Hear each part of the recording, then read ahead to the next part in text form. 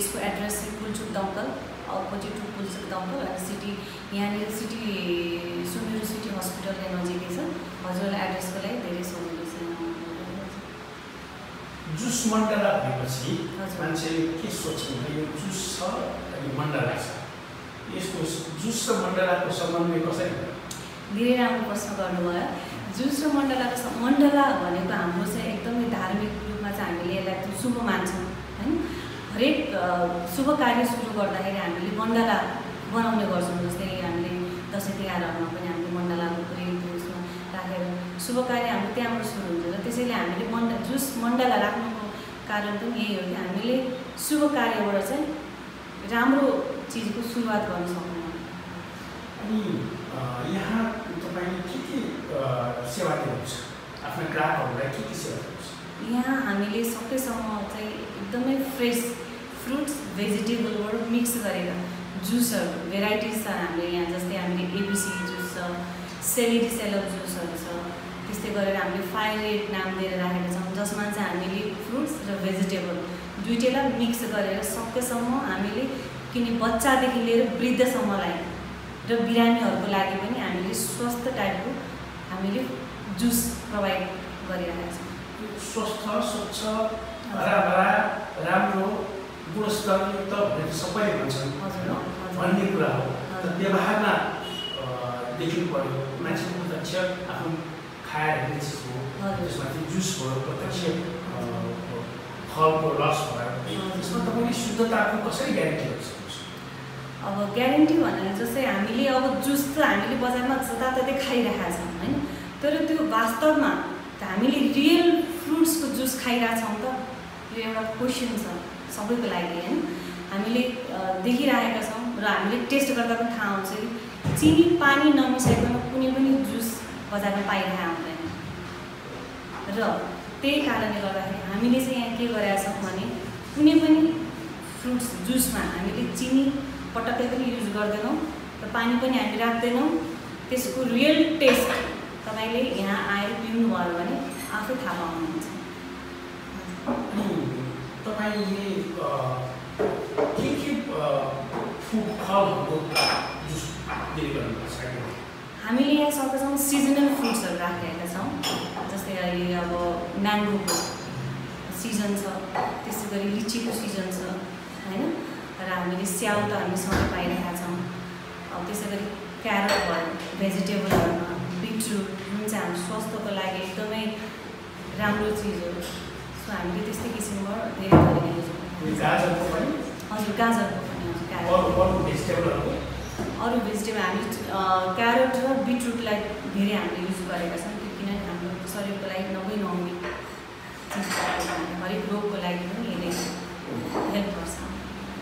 यसमा तपाईँले सर्भिस दिँदाखेरि जुस दिँदाखेरि त्यसमा के के मिसाउनुहुन्छ? कि ग्राहकको आवश्यकता अनुसार कि तपाईँले विशेष हामीले एउटा विशेष किसिमको हामीले जस्तै मैले अगाडि पनि मेन्सन गरिसकेका छौँ जस्तै हामीले एबिसी भनेर युज गरेका छौँ होइन? नाम दिएका छौँ। त्यसमा हामी एप्पल बिटरुट क्यारोट अनि हल्का लेमन राख्छौँ।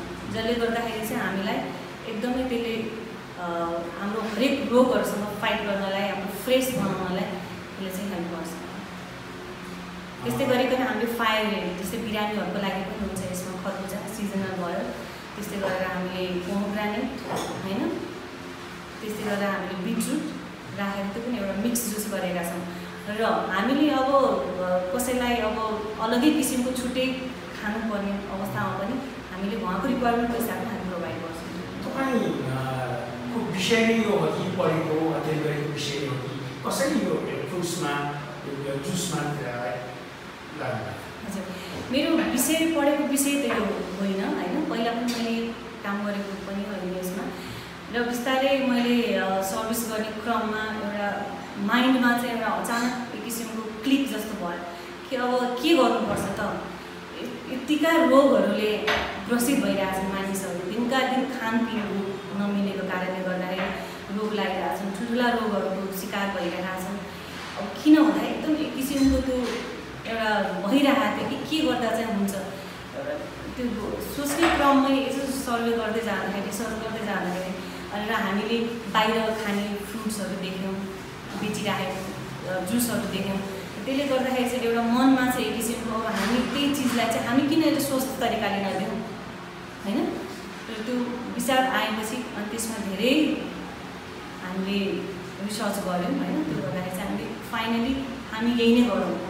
र सकेसम्म अवेरनेस गरौँ मानिसहरूलाई कि यस्तो पनि हामीले यहाँ एकदमै फ्रेस जुसहरू हामी प्रोभाइड गरेका छौँ जुन चाहिँ हाम्रो लागि अति आवश्यक छ।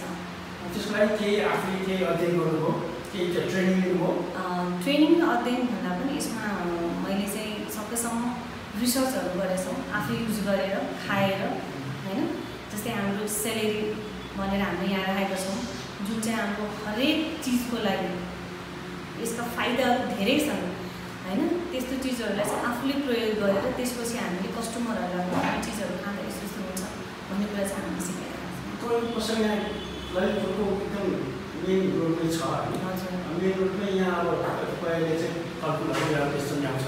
तपाईँ फलफुल कसरी ल्याउनुहुन्छ? तपाईँ आफै डिलर कहाँ गएर फलफुल ल्याउनुहुन्छ कि? अथवा यो बाटोमै ल्याएको फलफुल किन्नुहुन्छ कि? कि कसरी? तपाईँले तपाईँको र मेटेरियल छ नि? कसरी उपलब्ध हुन्छ त्यसलाई कसरी स्टोरेज गर्नुहुन्छ र त्यसलाई चाहिँ डेलिभरी गर्दा कसरी हुन्छ त्यो प्रोसेस हामीले के गर्छ भने फ्रुट्स हामीले सकेसम्म धेरै स्टक राख्दैनौँ किनभने सकेर हामीले फ्रेस नै प्रोभाइड गर्छौँ डेली हाम्रो मार्केटमा जाने छुट्टै मान्छे छ होइन उहाँलाई हामी डेली मार्केट पठाउँछौँ र त्यहाँको होलसेलबाट हामी लिएर आउँछौँ सिजनल फ्रुट्स ल्याउँछौँ इफ अफ सिजन फ्रुट्सहरू जस्तै अब ब्ल्याक ड्रेसहरू तिनीहरू राख्नु परेको खण्डमा त्यसलाई पानी नुन पानीमा एउटा साधारण तरिकाबाट त्यसलाई चाहिँ बिस पच्चिस मिनट हाफ एन आवरसम्म हामी त्यसलाई सोक गरेर राखेर भिजाएर राखेर त्यसपछि फेरि सफा पानीहरू पखालेर अनि मात्रै हामी युज गर्छौँ। अनि कुनै पनि फलफुलको जुसलाई कसरी दिनुपर्छ? मान्छेमा धेरै प्रकारका रोगहरू छ। अनि फलफुल पनि यसरी खानुपर्छ उसरी खानुपर्छ भन्ने छ डक्टरहरूले भन्ने गर्छन्। तपाईँले कुनै त्यस्ता विज्ञहरूसँग डक्टरहरूसँग सल्लाह लिनुभएको छ? हजुर हामीले अ, अलिकति रिसर्चहरूमा पनि पढेका छौँ होइन? हामीले स्टडी गर्दाखेरि पनि यसरी चाहिँ गर्दाखेरि बेस्ट हुन्छ भनेर डक्टरहरूको पनि धेरै उहाँहरूको रिसर्चहरू हेरेर पढेर हामीले फ्रुट्सलाई चाहिँ सकेसम्म एकदम पखाली सबै सफा पानीले पखालेर त्यसलाई कटिङ गरेर कुनै बिग्रिएको छ भने त्यसलाई हामी पटक्कै युज गर्दैनौँ। फ्रेस नै हामी स्टोरेज पनि हामी धेरै गर्दैनौँ। डेली बेसिसमा एक दिन दुई दिन बिराएर हामी लिएर आउँछौँ र बिग्रि बिग्रिन लागेको छ भने त्यसलाई हामी पालिदिन्छौँ जुन जुन फ्रेस छ त्यसलाई मात्र हामी युज गर्छौँ। बजारमा हल्ला के छ भने जमराको जुस अ, जमराको जुस हामीले त्यो चाहिँ हाम्रो प्रोसेसमा छ किन हामी भर्खर सुरु गरेका छौँ होइन? बिस्तारै बिस्तारै हामीले जमराको जुस पनि राख राखिरहेका छौँ राख्न लागेका छौँ र त्यस्तै लौकाको जुस होइन जुन चाहिँ हाम्रो शरीरलाई अति आवश्यक त्यस्ता चिजहरू पनि हामी राखिरहेका छौँ। अहिले हामीले सेलेरी जुस भनेर अहिले हाम्रो अ, जस्तै नेपालमा यहाँ चाहिँ त्यस्तो जुसहरू चाहिँ उपलब्ध छैन र हामीले त्यो चाहिँ हामीले यहाँ हामीले सुरु गरेका छौँ अनि सम्भावना तपाईँले अब यो नयाँ जुस पसल गर्नुभयो। अब मान्छेहरूले बाटो बाटोमै जुस खाने गरेका छन् पसलमा खुल्ला रूपमा खाने गरेका छन्। यो राम्रो डेकोरेसन गरेर अलिक सुरक्षित ढङ्गले राम्रो सरसफाइका साथ पनि गर्नु भएको छ त्यो ठिकै छ। तर तपाईँले यसको सम्भावना कस्तो देख्नुहुन्छ? सम्भावना भविष्य? हजुर भविष्य त हामीले एकदमै पोजिटिभ सोच राखेर गरेका छौँ। अब जस्तै हामीले सुन्दै आएका छौँ। हामीले अब हामीले बुझ्दै आएका छौँ कि हामीले पोजिटिभ थिङ्किङ जुन कुराको पनि हामीले पोजिटिभ सोच राख्यो भने पक्कै पनि पोजिटिभनेस त्यसमा आउँछ नि। त्यसैले हामीले के सोच्यो पक्कै पनि जुन यहाँ खाना आउ आउनुहुन्छ होइन कस्टमरहरूले पक्कै पनि मन पराउनु भएको छ कति रिपिट कस्टमर पनि आइरहनु भएको छ उहाँहरूको सल्लाह सुझावलाई हामीले एकदमै हृदयदेखि नै त्यसलाई एक्सेप्ट गरेर कसरी सुधार्न सकिन्छ योभन्दा अझ कसरी राम्रो गर्न सकिन्छ त्योतिर चाहिँ गर्दाखेरि चाहिँ हामीले उहाँहरूको फिडब्याक र हाम्रो पोजिटिभ सोचले गर्दा हामीले अझै पनि धेरै ठाउँहरूमा हामी यसलाई चाहिँ एक्सपान्ड गर्ने हाम्रो प्लान छ। अनि प्राइसको प्राइसको कुरा गर्नु सर्वसाधारणले सहज ढङ्गबाट प्राप्त हुने किसिमको प्राइस राख्नु भएको छ कि यसमा कुनै एक्स्ट्रा हामीले प्राइसिङ चाहिँ हामीले एकदमै निम्न वर्गदेखि अप्पर लेभलसम्मकोले अफोर्ड गर्न सक्ने गरिकन हामीले प्राइस राखेका छौँ। जस्तै हामीले सिजनल फ्रुट्सको लागि यो मेनुमा हेर्नुहुन्छ भने हामीले सिजनल फ्रुट्स वाटरमेलनको अहिले एकदमै सिजन भएको हुनाले हामीले त्यसको रेट मिनिमम राखेका छौँ। त्यस्तै गरी पाइनएप्पल भयो त्यसको पनि मिनिमम छ। म्याङ्गोको पनि हामी त्यही हिसाबले जति चाहिँ जुन जुन फ्रुट्सहरूको रेटहरू बजारमा महँगो छ त्यही हिसाबले हामीले जुसको जुसको रेट पनि हामीले त्यसरी नै राखेका छौँ। भनेपछि यहाँले स्वस्थता होइन शुद्ध शुद्धता र स्वस्थतालाई कसरी मेन्टेन गर्नुहुन्छ मेन्टेन त हामीले अघि मैले भनि नै हालेँ होइन? हामीले एकदमै धेरै स्टोर गर्दैनौँ फ्रुट्सलाई एभ्री डे हामी त्यो फ्रुट्स मार्केटबाट लिएर आउँछौँ र सकेसम्म त्यसलाई छिटो लिक्विडेट गरेर अनि हामी फ्रेस नै राख्छौँ र फ्रेस नै हामी प्याकेजिङ पनि गर्नुहुन्छ हामीले टेक अवे भनेर उहाँले अब बाहिर अब कसैले मगाउनुहुन्छ भने हामी त्यो पनि उहाँले प्रोभाइड गरिरहेका छौँ। अहिले हामीले हजुर अहिले हामीले नियर बाई एरियाहरूमा चाहिँ प्रोभाइड गरिरहेका छौँ। तर अब मेन पावर अलिक बढाउनु पर्ने कारणले गर्दा हामीले इन फ्युचर चाहिँ हामी गर्छौँ।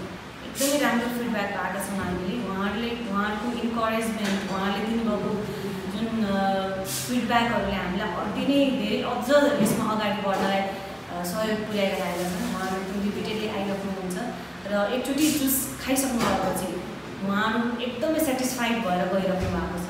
र हामीलाई एकदम खुसी लागेको छ कि हामीले त्यस्तो किसिमको सर्भिस हामीले जस्तो हामीले सोचेको छ त्यस्तो किसिमको हामीले दिइरहेका छौँ र फिडब्याक पनि त्यस्तै आइरहेको छ। यहाँको नाम चाहिँ पसलको नाम चाहिँ जुस मण्डला छ।